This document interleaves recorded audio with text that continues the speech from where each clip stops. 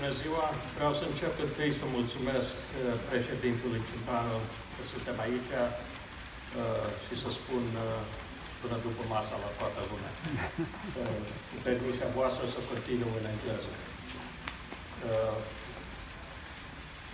Good afternoon, everyone. It is a pleasure to be here.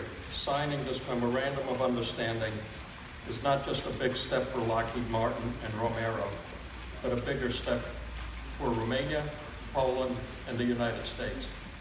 This is a remarkable day for, for all of our nations and for the European alliance.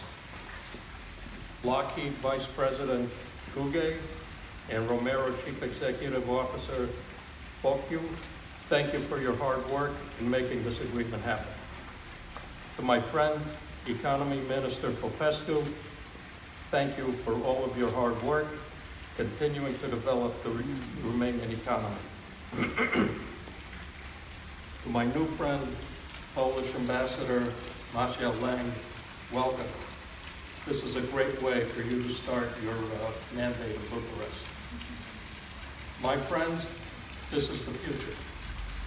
A great collaboration between our three countries to advance and preserve the cause of freedom.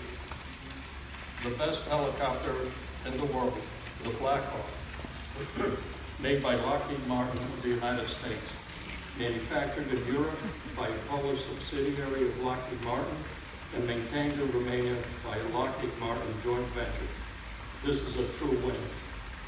To maintain and preserve freedom and democracy in the face of Russian, Chinese, and other malign influences, it is crucially important to maintain vibrant economies as well as effective militaries.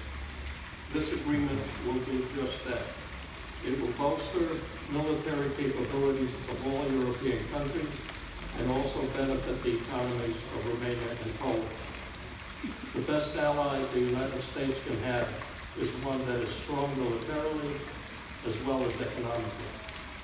Strengthening the economic and security relationship between Romania and the United States are my top priorities. I commend Prime Minister Orban's government for its commitment to long-term stability and focusing not only on military readiness, but economic development as well.